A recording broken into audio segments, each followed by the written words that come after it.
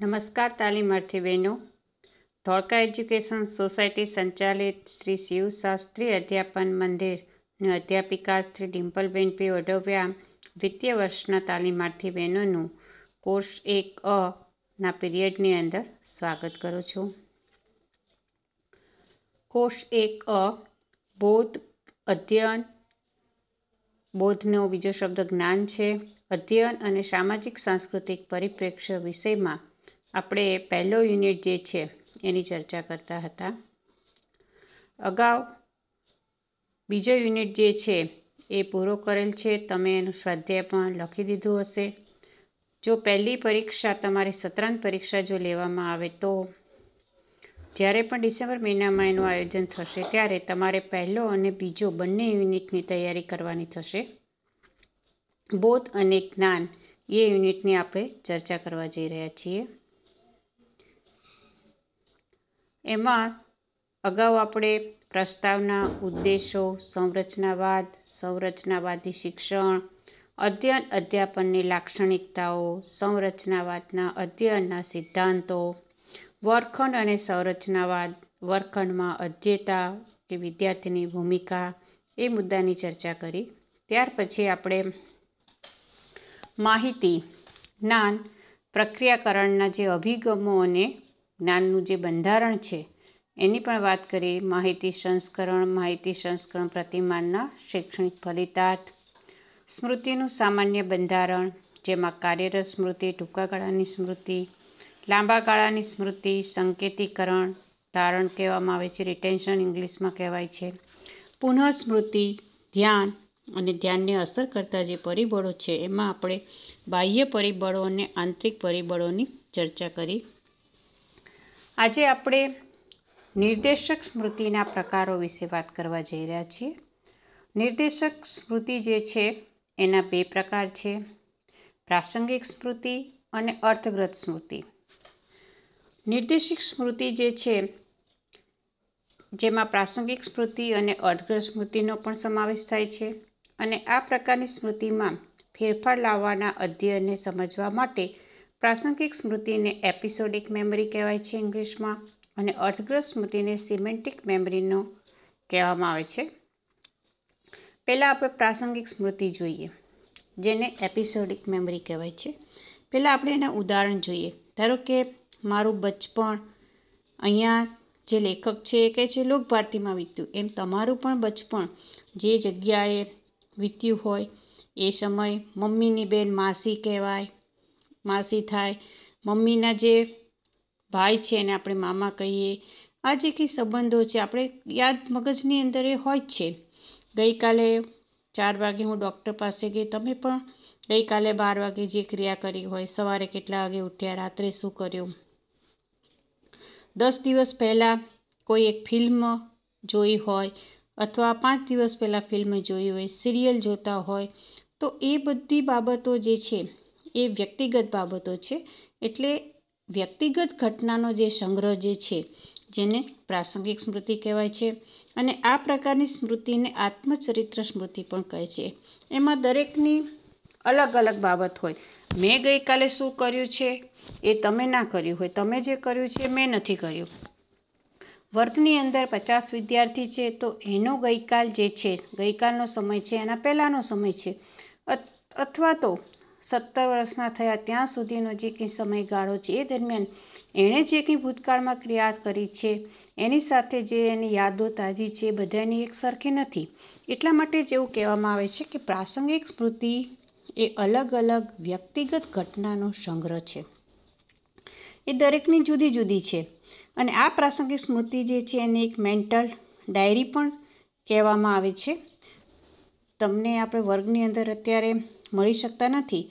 જો વાત કરીએ અને ચર્ચા કરીએ, તો બધાને પૂછીએ, તો દરેકના જે છે, અનુભવો છે એને યાદ કરાવો કે ભાઈ તમે વેકેશન દરમિયાન દિવાળીમાં છે, તમે શું કામ કર્યું? તો એ દરેકના જે સાથે બનેલી ઘટના છે, દરેકની યાદો છે અલગ અલગ છે.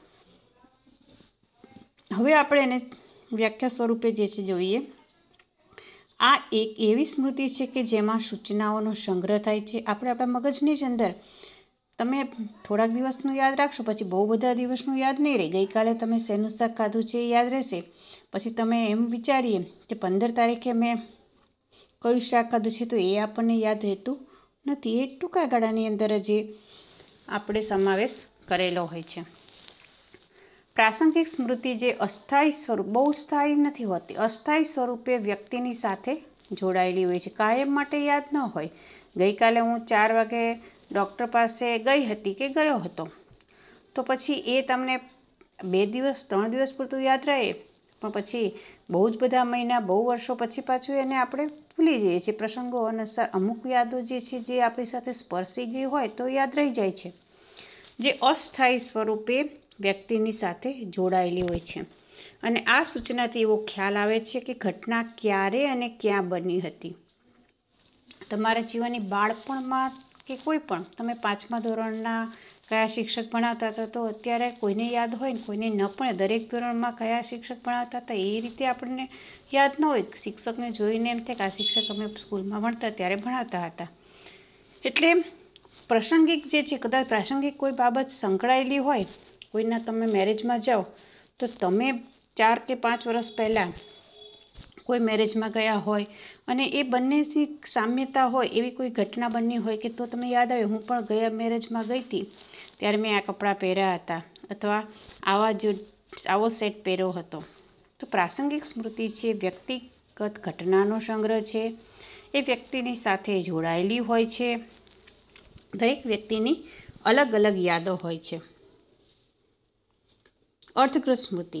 અર્થગ્રસ્ત સ્મૃતિને પણ આપણે પહેલાં ઉદાહરણમાં જોઈએ. દાખલા તરીકે, મને ખ્યાલ છે કે પાણીનું રાસાયણિક સૂત્ર એચ ટુ થાય. તો એ મારા માટે પણ એ જ છે, તમારા માટે પણ એ જ છે અને વિજ્ઞાનની અંદર પણ એ જ છે કે પાણીનું રાસાયણિક સૂત્ર એચ ટુ થાય જે મને યાદ છે, તમને યાદ છે.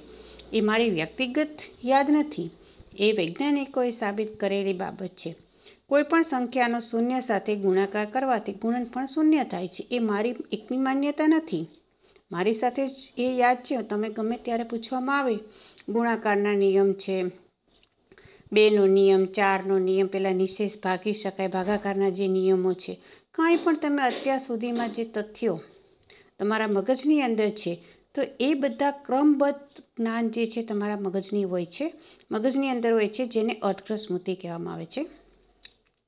અહીંયા તમે પ્રાસંગિક સ્મૃતિમાં વ્યક્તિગત બાબતો હોય છે, જ્યારે અર્થગ્રસ્ત સ્મૃતિ જે છે એ તારવેલી બાબતો હોય છે. પ્રાસંગિક સ્મૃતિ, હવે આપણે એને શરૂઆતથી જોઈએ. અર્થગ્રસ્ત સ્મૃતિ, સિમેન્ટિક મેમરી, આ પ્રકારની સ્મૃતિમાં વ્યક્તિ શબ્દ વ્યક્તિ શબ્દ, સંકેતો વગેરેનું એક ક્રમબદ્ધ જ્ઞાનની જેમ યાદ રાખે છે. અને આ પ્રકારના જ્ઞાનમાં શબ્દો, સંકેતોના પરસ્પર સંબંધો, તેના અર્થ તેમજ તેમના જોડતોડના નિયમો વગેરેનો સમાવેશ થાય છે. તમને એવું કહેવામાં આવે કે વનસ્પતિના ભાગો, તો એ તમને યાદ છે કે વનસ્પતિના ભાગ જે છે, મૂળ છે, થળ છે, પાન છે, ફૂલ છે.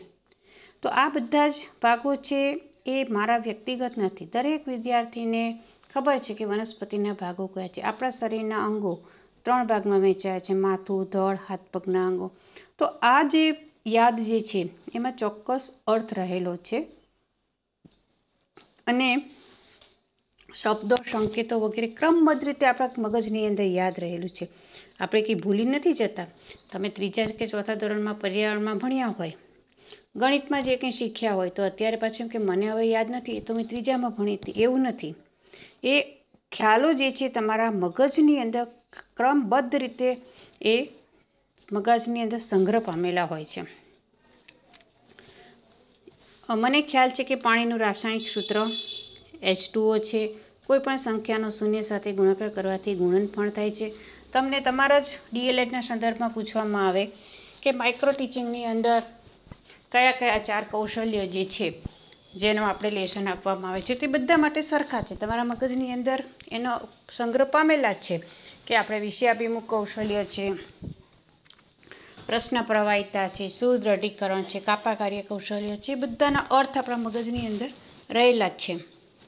પ્રાસંગિક સ્મૃતિ અને અજગ્ર સ્મૃતિને એકસાથે ભેળવીએ તો નિર્દેશક સ્મૃતિ બને છે.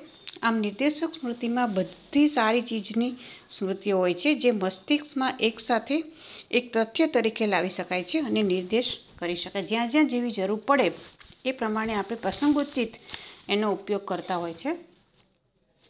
ધારો કે પરીક્ષાની અંદર પેપર લખવાનું હોય અથવા કોઈ પ્રસંગના સંદર્ભમાં આપણે માહિતી જે છે એ રજૂ કરવાની હોય, ત્યારે મગજની અંદર સંગ્રહ થયેલી અર્ધસ્મૃતિ જે છે એને આપણે યથા પ્રસંગે એનો ઉપયોગ કરીએ છીએ. એટલે પ્રાસંગિક સ્મૃતિ અને અર્ધગ્રહ સ્મૃતિ એકસાથે વેળવીને જે સ્મૃતિ બને છે તે નિર્દેશક સ્મૃતિ બને છે. તમને ભણાવતી વખતે કોઈ મુદ્દો છે એને અનુરૂપ પ્રાસંગિક વાત કરવામાં આવી હોય અને જ્યારે એ તમારા મગજની અંદર ક્રમિક રીતે સંગ્રહ પામેલી છે અને જ્યારે પરીક્ષાની અંદર એનો ઉપયોગ કરવામાં આવે છે, ત્યારે બંનેનું એ કોમ્બિનેશન થાય છે, પ્રાસંગિક સ્મૃતિ અને અર્ધગ્રહ સ્મૃતિનો. અને એ જે છે, રજૂ થાય છે, નિર્દેશક સ્મૃતિ રૂપે રજૂ થાય છે. એ તમારા તથ્ય જે છે, એ મસ્તિષ્કમાં એક સાથે એક તથ્ય તરીકે લાવી શકાય છે અને તે નિર્દેશ કરી શકે છે.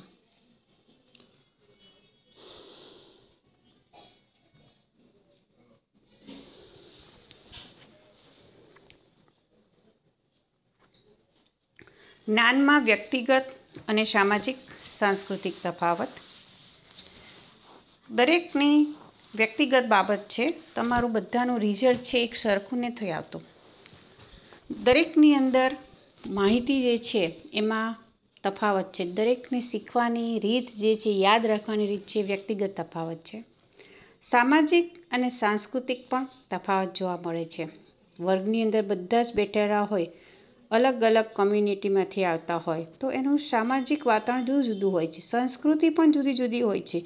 એક જ ગામને ધારો કે આપણે ધોળકાની વાત કરીએ, તો ધોળકાના બધા જ વિસ્તારમાંથી અલગ અલગ જે વિદ્યાર્થીઓ આવે છે એ તો એના વિસ્તાર જે છે, એ વિસ્તાર પ્રમાણે પણ ફેરફાર જોવા મળે.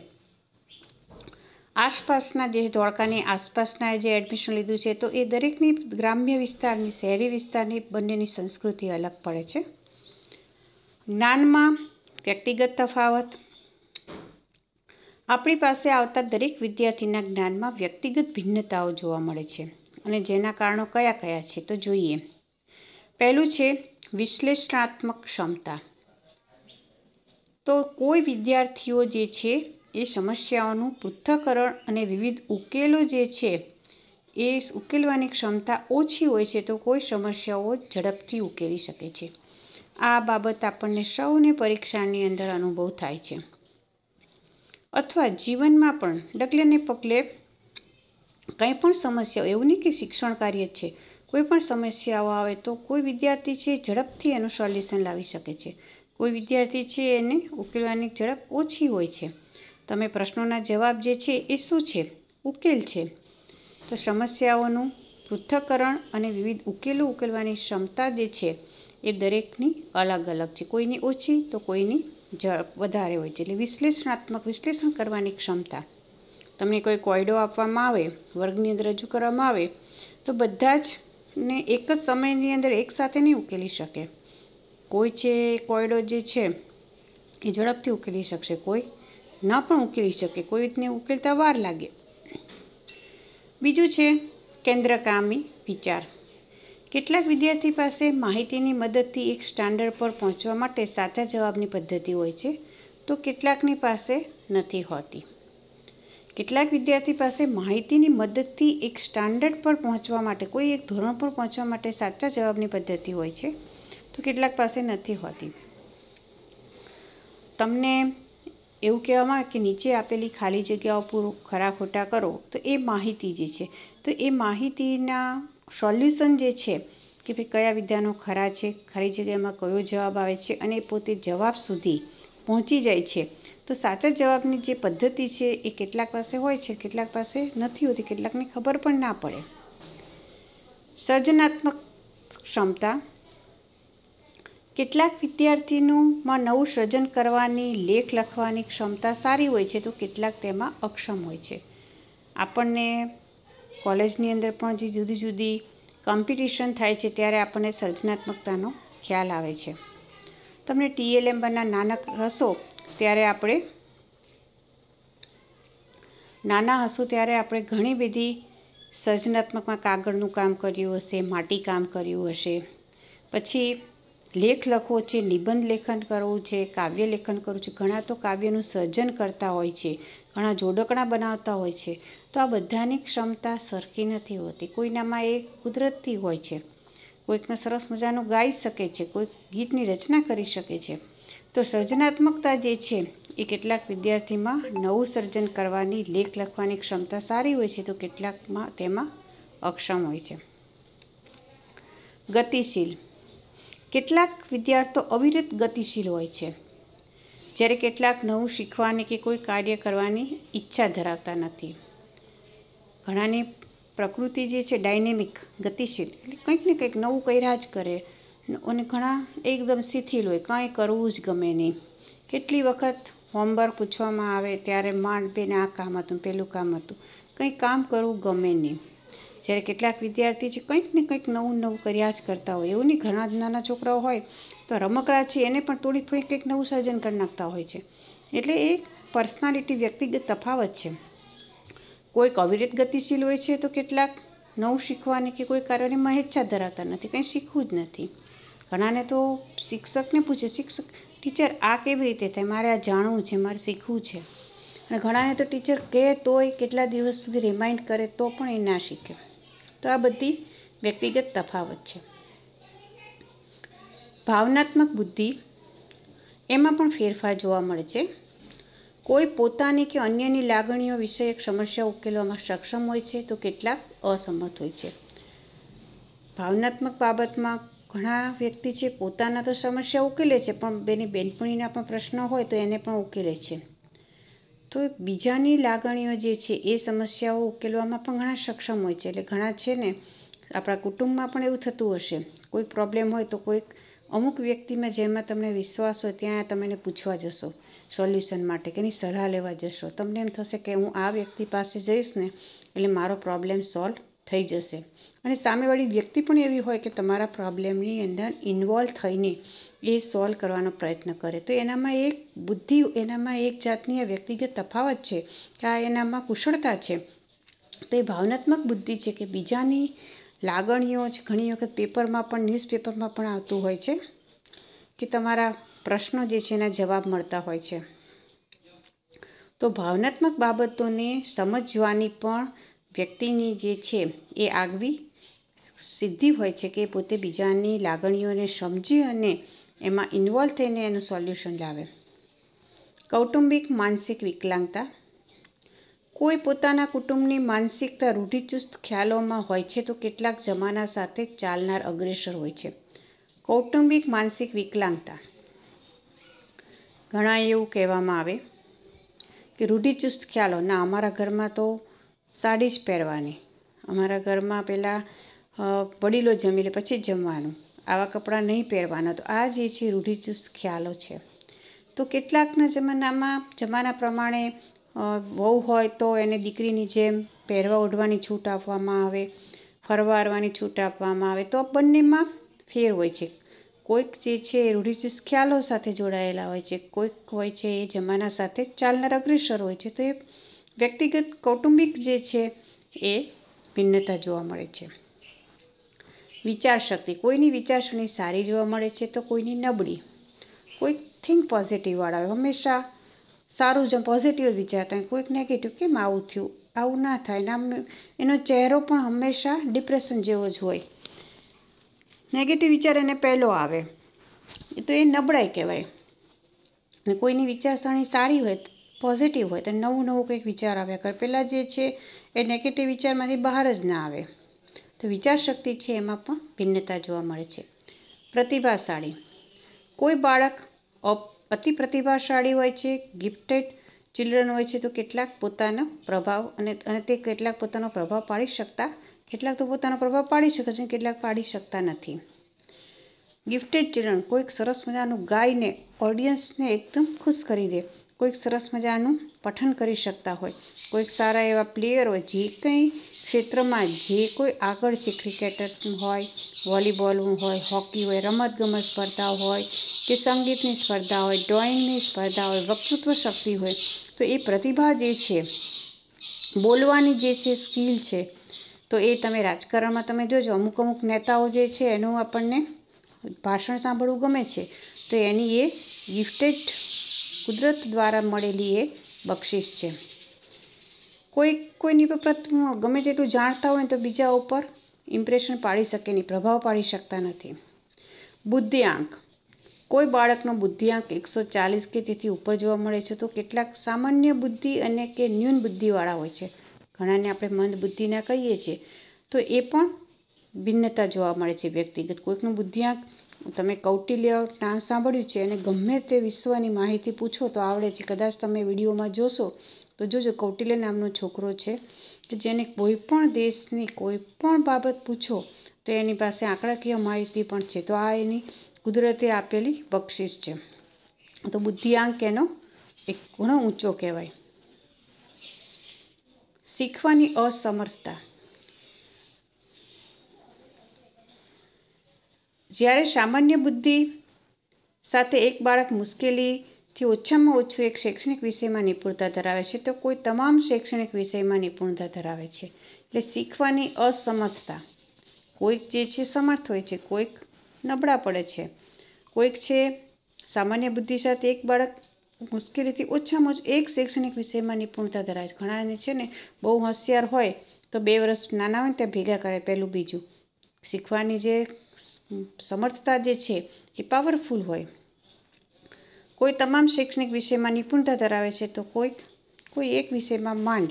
ભણવાનું, તે ભણવાનું જ કરી શકે. પછી એ ડ્રોઈંગ છે, સંગીત છે કે પેલામાં રમતગમત છે, એમાં ભાગ ના લઈ શકે. માનસિક ઉંમર. કોઈ બાળકની વાસ્તવિક ઉંમર કરતાં માનસિક ઉંમર વધુ હોય છે, આપણે એમ કહીએ છીએ બહુ મેચ્યોર છે.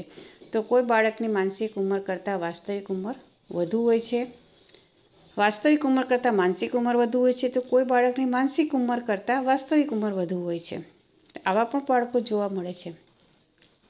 વય ઉંમરમાં નાના, તમે ઘણા નાના બાળકો જુઓ ને, તો ત્રણ કે ચાર વર્ષના બુદ્ધિ એટલી બધી હોય ને, એટલું બધું વિચારે ને, આપણે વાક્યો બોલે ને, તો આપણને એમ થાય કે આને કેટલી બધી ખબર પડે છે.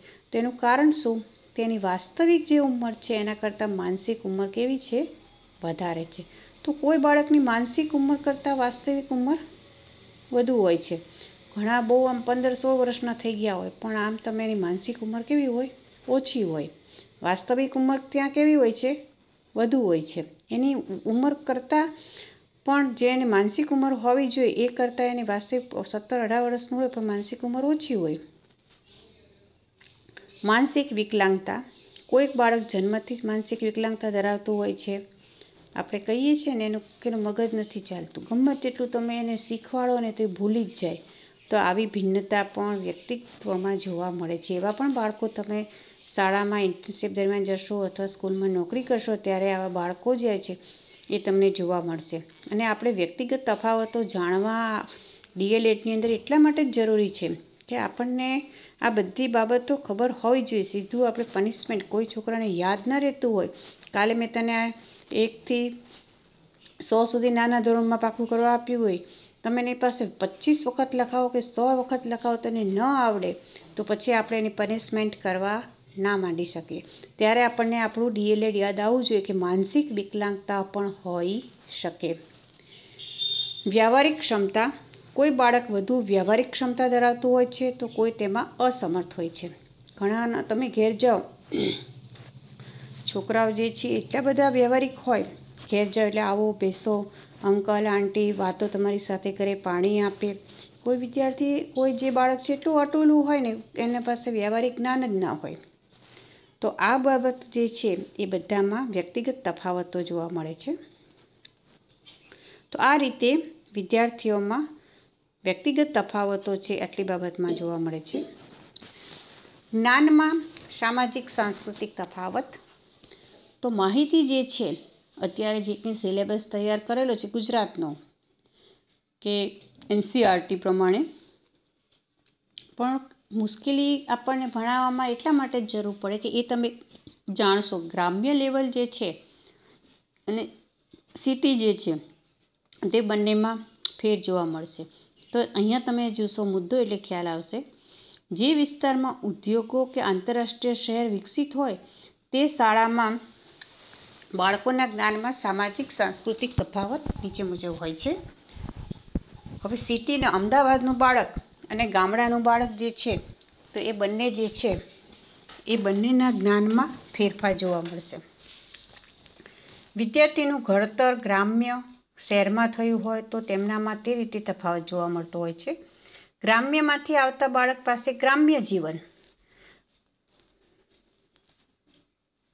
ગ્રામ્ય જીવન, ગ્રામ્ય સંસ્કૃતિ, આ બધું એની પાસે જ્ઞાન હોય. તમે એને ખેતરનું કંઈ પણ પૂછો, જમીન વિશે પૂછો, તો એ તરત ઓળખી જાય, બેન, આ જમીન કાળી જમીન કહેવાય અને ગોરાળું જમીન કહેવાય, રેતાળ જમીન કહેવાય. કોઈક વનસ્પતિ છે તે એને પણ ઓળખતો હશે, જ્યારે શહેરના બાળકને ન ખબર હોય. પ્રાણીઓ વિશેનું પણ એ અવાજ ગાયના જે હાવભાવ પરથી એને ખબર પડી જાય, બેન, એને ખાવું છે. કે આ બીજા શહેરના બાળકને ના ખબર પડે.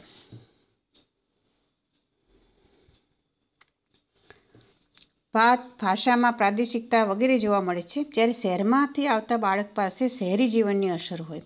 શહેરી સંસ્કૃતિ વગેરે જોવા મળે છે અને સિટીનું જે છે, ધારો કે મોબાઈલનું જ્ઞાન છે, અથવા કોઈ મોલની અંદર વારંવાર જતું હોય, તો એનો એનો સ્ટેર કેસ છે, પગથિયા છે, ચડવા, ઉતરવા છે, એના ગેટ કેવી રીતે ખોલવા અત્યારે તમે જુઓ મોલમાં પણ ટોયલેટ બાથરૂમ જે છે, એ આધુનિક હોય છે. આપણને ક્યારેક એના નળ ખોલવાના હોય ને તો એ આપણને કેવી રીતે ખુલતો હશે? તો એ જે છે, ગામડાના બાળકને તમે લઈ ગયા હોય, તો એ મૂંઝાશે કે આને કેવી રીતે ખોલવું?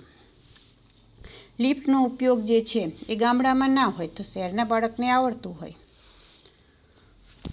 વિદ્યાર્થી ભૌગોલિક રીતે જે વિસ્તારમાં રહેતો હોય છે, ત્યાંની સંસ્કૃતિ તેનામાં જોવા મળતી હોય છે. દાખલા તરીકે દરિયા વિસ્તારમાંથી આવતા બાળક પાસે એની જે માહિતી જે છે, સામુદ્રિક માહિતીનું જ્ઞાન હશે. તેવી રીતે જંગલ વિસ્તારમાંથી આવતા બાળક પાસે જુદી જુદી વનસ્પતિ, વૃક્ષો, પ્રાણીઓ વિશેની માહિતી જોવા મળે છે. જે તે સમાજમાંથી આવતા બાળક પાસે તે સમાજની રૂઢિ, રીત રિવાજ અને પ્રથાનું જ્ઞાન હશે. આપણા ક્લાસની અંદર અલગ અલગ. કે હિન્દુ છે, મુસ્લિમ છે, ખ્રિસ્તી છે, જૈન ધર્મ પાળનાર વિદ્યાર્થી હોય. તો તમે એને પૂછો, તો દરેકની અંદર ધારો કે લગ્ન જે છે, તો હિન્દુ પ્રથા જે છે, એની લગ્નની જે રીત છે, એ અને મુસ્લિમ જે છે, તો મુસ્લિમમાં નિકાહ પડતા હોય છે. તો આ રીતે દરેક સંસ્કૃતિ જે છે, તો એના રીત રિવાજ પણ જુદા હશે, પહેરવેશ પણ જુદો હશે. એમના ધર્મ જે છે, તો એમાં પુસ્તકો જે છે, એનું વાંચન, ભગવાનને પ્રાર્થના કરવાની જે રીત છે, એ પણ જુદી હશે. અને એમના રીત રિવાજ કે, ના, અમે ઘરમાં પણ, અમે ઘણી દીકરીઓ આવતી ધોળકાની. તો કે, બેન, અમે ઘેર પણ માથે છે, એ દુપટ્ટો આ રીતે ઓઢેલો જ રાખે, પપ્પાની સામે હોય કે મમ્મીની સામે. તો આ એક જાતનો રિવાજ છે. ઘણી બહેનો, પરણિત બહેનો છે પીટીસીમાં આવ્યા હોય તો એ ઘેરથી ડ્રેસ પહેરીને ન આવે, સાડી જ પહેરીને આવવું પડે. તો એ એમના સમાજની રૂઢિ છે. અલગ અલગ ધર્મમાંથી આવતા બાળક પાસે તે ધર્મની માહિતી હશે. અત્યારે આપણે ક્લાસ, લાઈવ ક્લાસ, હોત ક્લબની અંદર તો આપણે બધાને પૂછપરછ કરી અને આ મુદ્દો સરસ રીતે સમજી શક્યા હોત. જે વિદ્યાર્થી શિક્ષિત કુટુંબમાંથી આવે છે, તેનું શબ્દ ભંડોળ તેમજ પ્રત્યાયન શક્તિ સારી જોવા મળે છે. મા બાપ ભણેલા ના હોય, તો એ બાળક જે છે એમાં ખામી રહી જાય છે. જ્યારે ભણેલા મા બાપ છે, કેમ કે એના ઘરની અંદરનું જે એટમોસ્ફિયર છે, એ પણ એનામાં અસર કરતું હોય છે. પ્રગતિ ચકાસોમાં નિર્દેશક સ્મૃતિ એટલે શું? જેમાં આપણે જાણીએ છીએ કે પ્રાદેશિક સ્મૃતિ અને અગ્ર સ્મૃતિ જે છે, એ ભેગી થાય છે જે બે, અને એમાંથી નિર્દેશક સ્મૃતિનું નિર્માણ થાય છે. જ્ઞાનમાં વ્યક્તિગત ભિન્નતા કઈ કઈ છે? એમાં આપણે પણ જોયું વ્યક્તિગત ભિન્નતા સામાજિક અને સાંસ્કૃતિક ભિન્નતા પણ હોય છે. આજનો મુદ્દો છે આપણે અહીંયા સુધી રાખીએ છીએ. હવે પછી મળીશું ત્યારે આપણે અધ્યયન મુશ્કેલીઓની સમજમાં ડિસ્લેક્સિયા, ડિસ્કેલ્ક્યુલિયા અને ડિસ્ક્રાફિયા વિશે માહિતી મેળવીશું. ત્યાં સુધી સર્વને નમસ્કાર, આભાર.